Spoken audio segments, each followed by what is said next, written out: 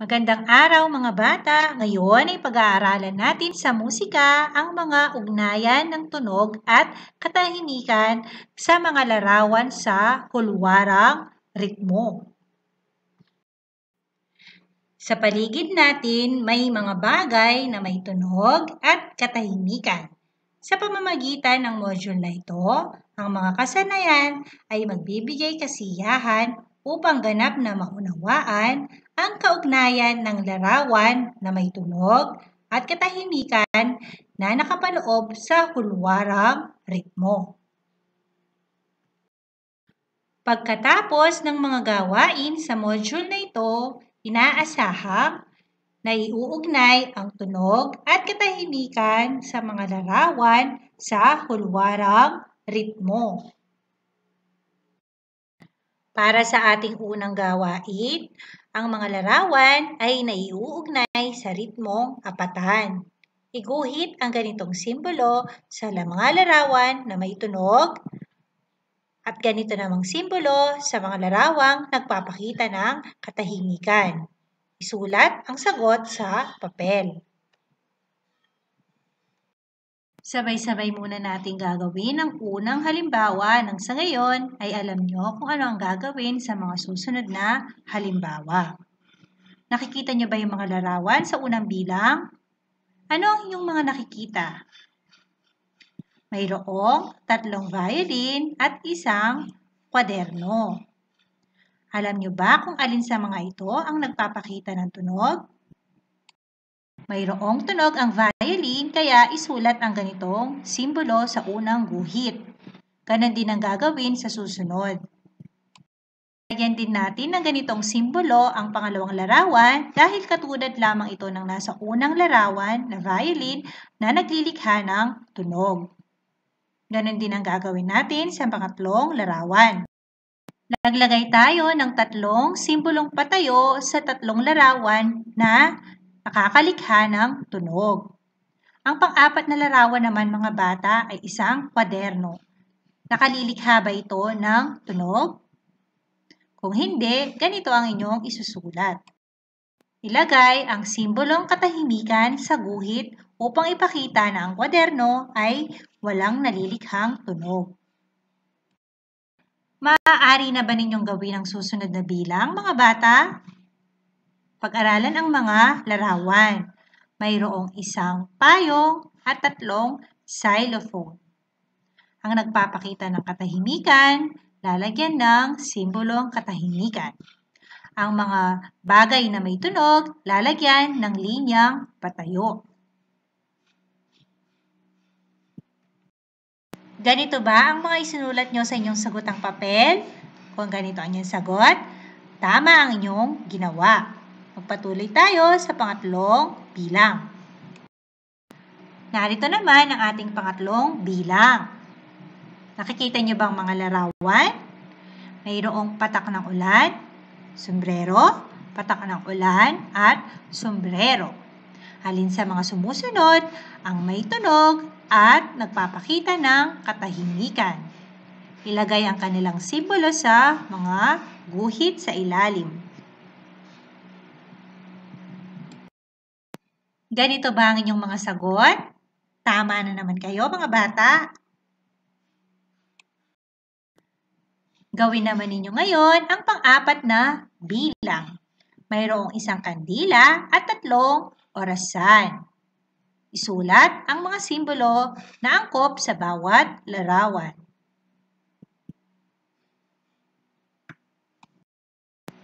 Magaling at tama na naman ang inyong mga sagot. Tutuloy na natin sa ikalimang bilang. Sa ikalimang bilang, mayroon tayong tambol, bahay ng aso, tambol at tambol. Iguhit muli ang mga simbolo sa bawat larawan.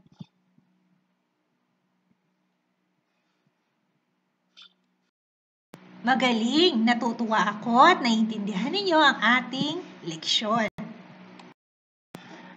Ngayon naman, pag-aralan natin ang iba't ibang kasanayan upang higit na maunawaan ang ugnayan ng tunog at katahimikan sa mga larawan na nakapaloob sa hulwarang ritmo.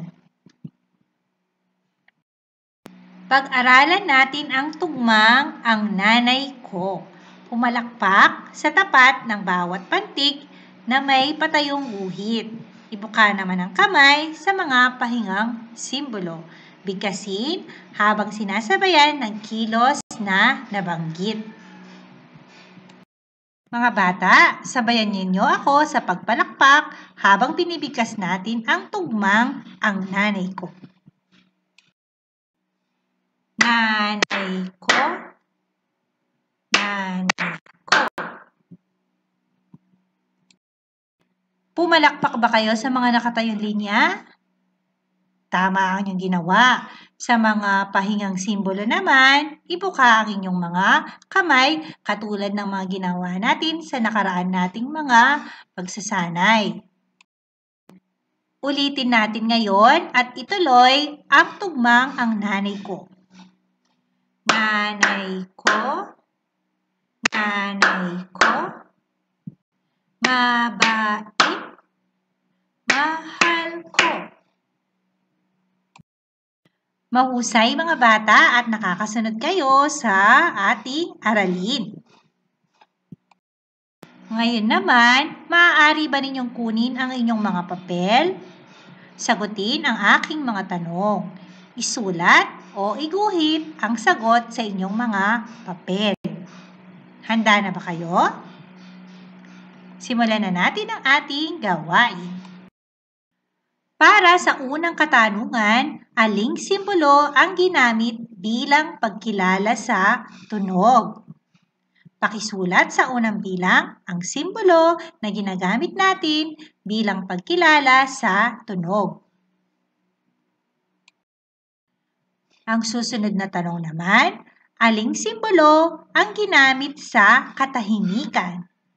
Pakiguhit sa pangalawang bilang ang simbolo ng katahimikan. Para sa pangatlong tanong, anong mga salita sa tugma ang may tunog? Isulat ang mga salita sa patlang.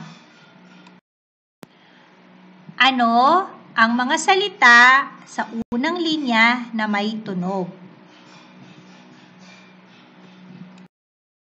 Ano naman ang mga salita sa ikalawang linya ang may tunog? Magaling mga bata, ipakita kay nanay ang inyong mga ginawa. Sa susunod nating gawain, magsanay muna sa pagsasagawa sa hulwarang ritmo na nasa ibaba. Tapikin ang mesa sa bawat tunog at itaas ang kamay sa bawat pahinga. Subukan nga natin ang sabay-sabay mga bata. Tatapikin ang mesa sa mga linyang patayo at itataas naman ang kamay sa mga simbolong pahinga.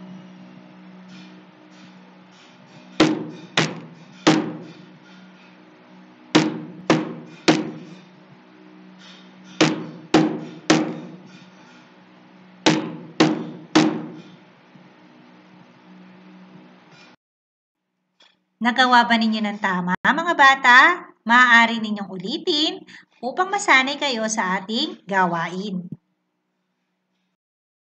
Pag-aralan naman natin ngayon ang tugmang ang pusa. Kagaya ng ginawa natin kanina, tapikin ang mesa sa bawat linyang nakapatayo o sa bawat tunog. At itaas naman ang kamay sa bawat pahingang simbolo o katahimikan. Meow, meow, meow. Pusa ko. Naliksik. Kumilos. Maaari din natin gawin ng mas mabilis. Meow, meow, meow. Pusa ko maliksik, kumilos. Magaling mga bata! Sa pangalawang gawain natin, maaari ba ninyong kunin ang inyong mga answer sheet At sagutin natin ang mga sumusunod na bilang. Isulat o iguhit ang linyang patayo kung may tunog at simbolong pahinga kung walang tunog. Sa unang bilang, ang mga salitang isinagawa habang tinatapik ang mesa ay may tunog.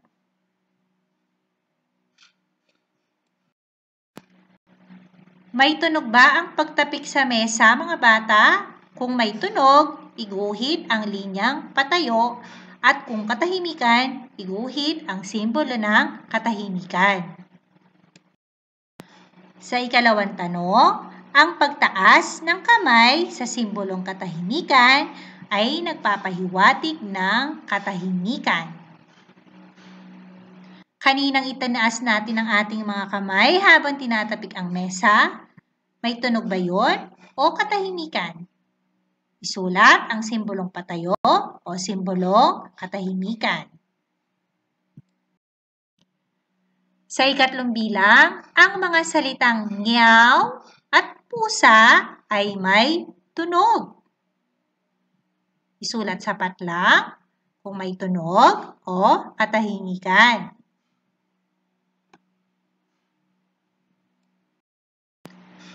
Sa ikaapat na bilang, ang simbolong nakatayong linya ay nangangahulugan ng tunog. Pakisulat sa guhit ang tamang sagot.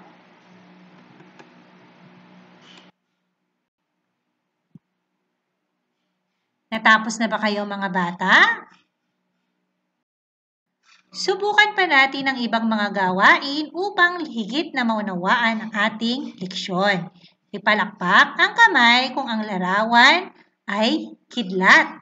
At ibuka naman kung ang larawan ay buwan. Ulitin ng tatlong beses. Sabay-sabay nating subukan.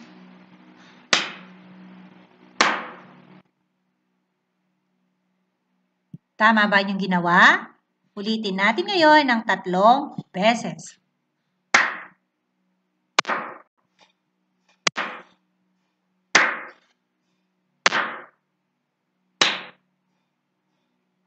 Mahusay mga bata! Sa susunod na gawain, piliin ang titik ng samang sagot. Sabihin na lamang kay teacher kung ang sagot nyo ay titik A o titik B. Naiintindihan ba mga bata? Sa ginawa nating pagpalakpak kanina, ano ang hulwarang ritmo na inyong isinagawa? Ito ba ay A, Tatlong palakpak, isang pahinga. O B, palakpak, pahinga, palakpak, pahinga. Ang tamang sagot ay titik B. Sa pangalawang tanong, aling larawan ang may uugnay sa may tunog? A. Ang kidlat ba? O B. Ang puwan? Ang tamang sagot ay titik A. Ang pangatlong tanong, aling larawan ang may uugnay sa katahimikan? A. Ang kidlat ba? O B. Ang buwan? Ang tamang sagot ay titik B. Sa ikaapat na gawain, iguhit ang Patayong linya kung ang larawan ay may tunog at pahingang simbolo kung ang larawan ay walang tunog.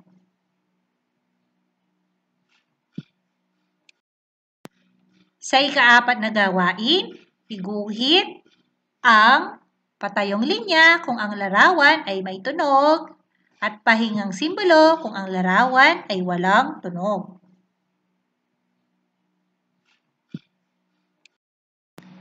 Ganito ba ang mga sagot? Tama kayo. Sa panghuling tanong, anong kilos ang isinagawa mo sa pagpapakita ng tunog? A. Pagpalakpak ng kamay o B. Pagbuka ng kamay?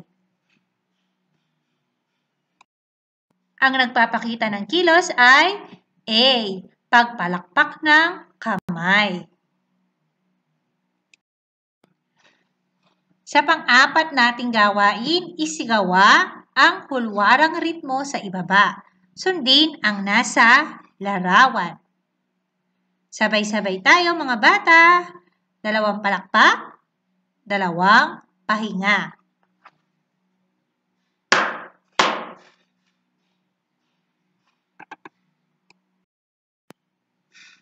Mayroon pa tayong susunod na gawain. Piliin ang titik ng tamang sagot sa bilang isa at dalawa. Isulat sa inyong mga papel. Iguhit din sa inyong mga papel ang tanong sa bilang na ikatlo at ikaapat. Maaari niyo bang kunin ang mga lapis at papel? Sa unang tanong, anong kilos ang isinagawa mo upang maipakita ang bagay na may tunog. Isulat na lamang ninyo ang titik ng tamang sagot. Inuulit ko mga bata, sa unang bilang, anong kilos ang isinagawa mo upang maipakita ang bagay na may tunog? A. Palakpak o B. Nakabuka ang mga kamay. Sa ikalawang tanong, Anong kilos ang nagpapakita na walang tunog? Isulat na lamang ang titik ng tamang sagot sa inyong papel. A. Palakpak o B. Bukang kamay.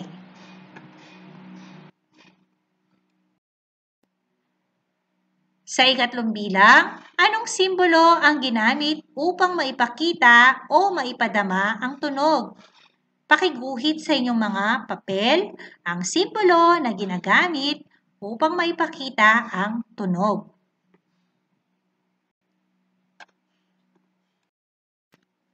Ikaapat na tanong, aling simbolo naman ang ginagamit mo sa katahimikan?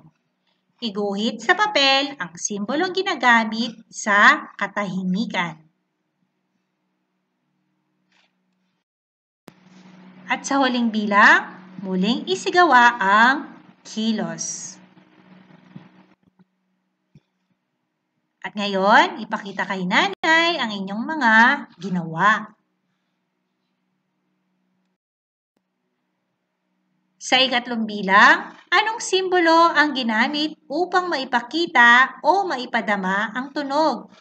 Pakiguhit sa inyong mga papel ang simbolo na ginagamit upang maipakita ang tunog.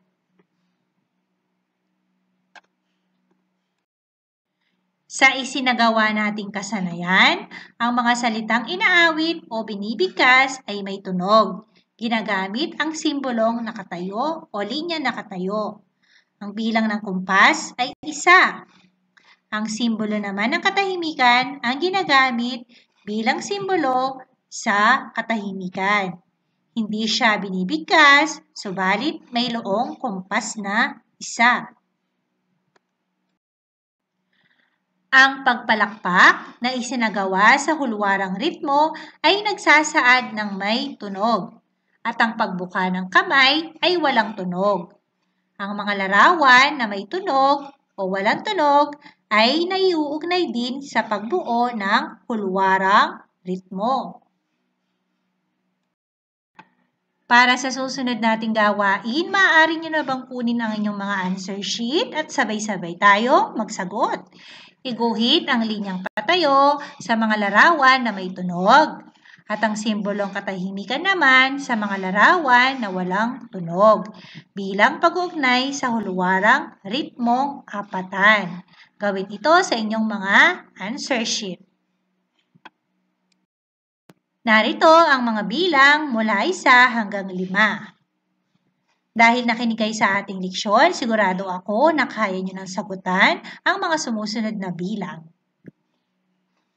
Isulat ang linyang patayo sa mga bagay na gumagawa o lumilikha ng mga tunog at ang simbolong pahinga naman sa mga walang tunog o nagpapahiwatig ng katahimikan. Mahusay mga bata at natapos na ninyo ang pagsagot sa ating answer sheet.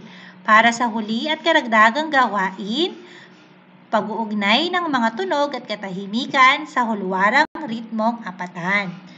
Gumuhit ng larawan na may tunog sa tapat ng linya. Sa gawaing ito, kayo naman ang guguhit ng mga larawan na may tunog sa ibabaw ng mga linyang nakatayo. At sa bawat simbolo ng pahinga, gumuhit kayo ng mga bagay na walang tunog o nagpapakita ng katahimikan. Iguhit nyo ang mga sagot sa mga sagutang papel. Mahusay mga bata, binabati ko na naman kayo at natapos na natin ang module sa music ngayong linggong ito. Napakahusay nyo at nakikinig kayo kay teacher. Babatian da kayong pasibayuanak at ayari yung module ni. Kagaling yo. Magyari kayo pang painawa at mamiyalong ngeni.